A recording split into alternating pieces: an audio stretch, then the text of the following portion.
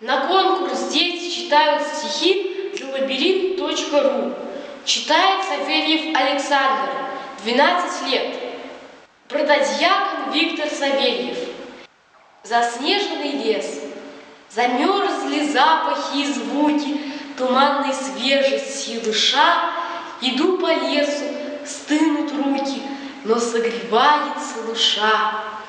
Декабрь венчает лес зимою, Фатою снежной белизны, Сугробы светлую волною Плетут узоры тишины.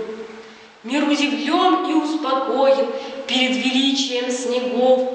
Укрылась зелень юной хвои, Смирилась мощь лихих дубов.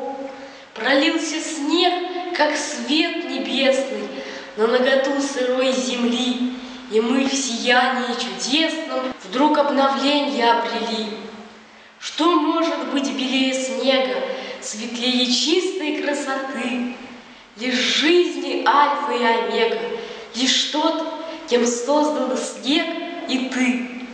Пусть светил купол мироздания, Не гаснет зимняя звезда, Сияя нам в напоминание О воплощении Христа.